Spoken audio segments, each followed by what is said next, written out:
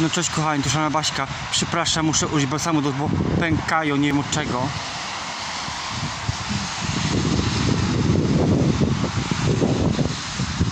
Co tam u was, wiecie co? Ja jadę do Biedronki na stawiec po chipsy, kole, po coś jeszcze, więc jakoś zimno. Pada też ze śniegiem. Będę jadł, będę jadł piłkę.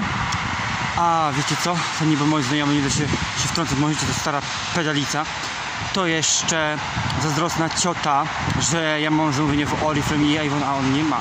Wiadomo, daje im zarabiać, to oni wysyłają mi katalogi, a on nie jest już w Avonie, bo go z Avonu wywalili i nie będzie w Oriflame. Dlatego te firmy podjęły decyzję, żeby nie wysłać mu nowych katalogów. A nie kupujcie kosmetyków Avon na Allegro, Shopee i na Wempiku, bo Avon nie ma z nimi podpisanej umowy. Więc Avon Polska napisała do mnie, że nie ma podpisanej umowy z tymi firmami i nie wiadomo skąd, jakiego pochodzenia są te kosmetyki. Więc no.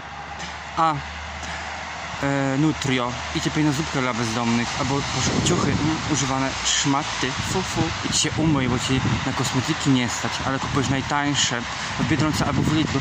A i oczywiście królowa nie zakłada kagańca w Biedronce, bo nie mam zamiaru nie pa.